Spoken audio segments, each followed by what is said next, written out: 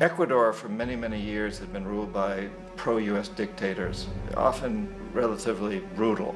Then it was decided that they were going to have a truly democratic election. Jaime Roldós ran for office, and his main goal, he said, as president, would be to make sure that Ecuador's resources were used to help the people. And he won, overwhelming, by more votes than anybody had ever won anything in Ecuador. And he began to implement these policies to make sure that the profits from oil went to help the people. Well, we didn't like that in the United States.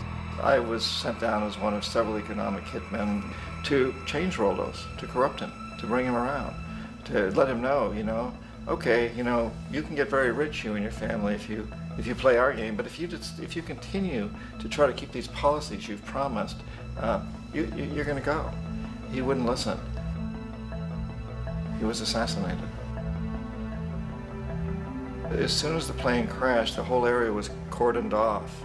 The only people allowed in were U.S. military from a, from a nearby base and some of the Ecuadorian military. When an investigation was launched, two of the key witnesses died in car accidents before they had a, a chance to testify.